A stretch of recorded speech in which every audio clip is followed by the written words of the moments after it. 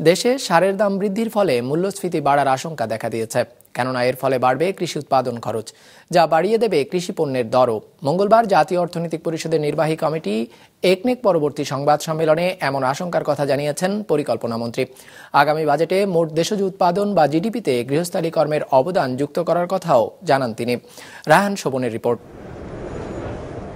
দেশে টানা দুই মাস ধরে বেড়েই চলছে মূল্যস্ফীতির হার। পরিসংখ্যান ব্যুরোর তথ্য মতে, সবশেষ মার্চে মূল্যস্ফীতি ছিল নয় দশমিক তিন তিন শতাংশ, যা গেল সাত মাসের মধ্যে সর্বোচ্চ। উচ্চ মূল্যস্ফীতির এই চাপের মাঝে নতুন দুঃসংবাদ হয়ে এসেছে সারের দর বৃদ্ধির খবর।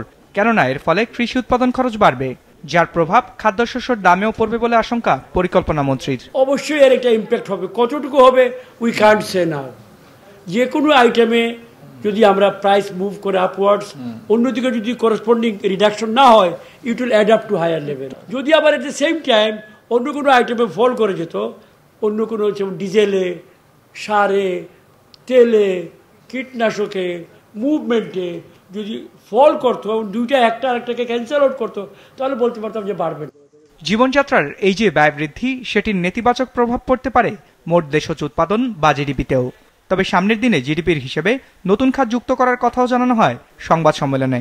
বলা হয়, এখন থেকে গৃহস্থলিতে নারীদের অবদান অর্থনীতিতে যুক্ত করার নির্দেশ দিয়েছেন প্রধানমন্ত্রী।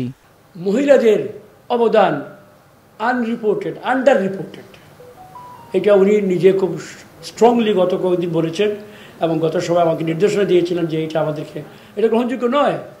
আমাদের বাস্তব জিডিপি আমরা যা দেখাচ্ছি তার চেয়ে অনেক বেশি। কারণ আমাদের অর্ধেক নারী শক্তির জিডিপির মূল্যায়ন করছি। না আমি বলছি না যে মায়ের ভালোবাসার তো কোনো মূল্য নেই। মায়ের স্নেহ আমরা মূল্যায়িত করতে পারব না।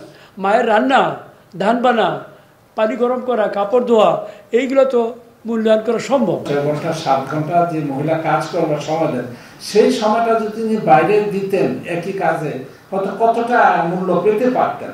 আমি বাজারে ঘরে ভাত, যখন খেয়ে ফেলব তখন এটা মূল্য হবে না। কিন্তু এই ভাতটা যদি মেসে সাপ্লাই দিই, মাসের শেষে টাকা নেই, এই ভাত পাকাটা কিন্তু জিডিপিতে কাউন্ট হবে। মঙ্গলবার প্রধানমন্ত্রীর সভাপতিত্বে জাতীয় অর্থনৈতিক পরিষদের নির্বাহী কমিটির সভায় মোট এগারোটি প্রকল্পের অনুমোদন দেওয়া হয়েছে। এজন্য ব্যয় ধরা হয়েছে তেরো হাজার ছয়শো পঞ্চান্ন কোটি আটানব্বই লাখ টাকা, যার মধ্যে সরকার দেবে তিন হাজার একশো কোটি টাকার ওপরে। বৈদেশিক অর্থায়ন আসবে সাড়ে দশ হাজার কোটি টাকা প্রায়। রায়হান শোভন বিজনেস রিপোর্ট मास्टरगा टेलीविज़न